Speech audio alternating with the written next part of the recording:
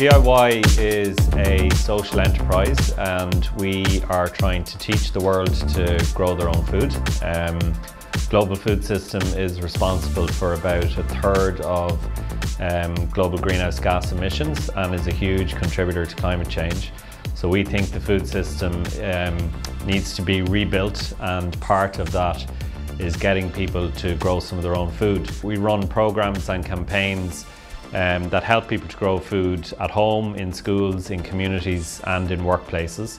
Um, and we also provide products and content that help people uh, to grow their own food successfully. And of course Grow HQ then is also a social enterprise in its own right where we're um, we see this as a model of a more sustainable food system, but it's also just, you know, at, at its core, it's a business. It's also a place where people come and, and eat and learn how to grow food and so on. Zero food waste, so it's, it's very simple.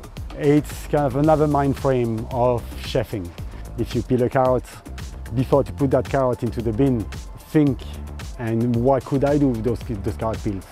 what could I do with that? What could I do with that? And it's more go going back into uh, to an exciting way to be a chef because you get more excited, you get more creative about it. Community is still, you know, a hugely important part. I suppose all of the we try to think about ourselves as having a global reach, but the impact actually happens down at, at a local level in communities. We've learned a tremendous amount from each other. We've shared uh, seeds, techniques, it has been wonderful for people's well-being. It's good for physical activity, gets them out in nature. It has all kinds of benefits, uh, none least mental health.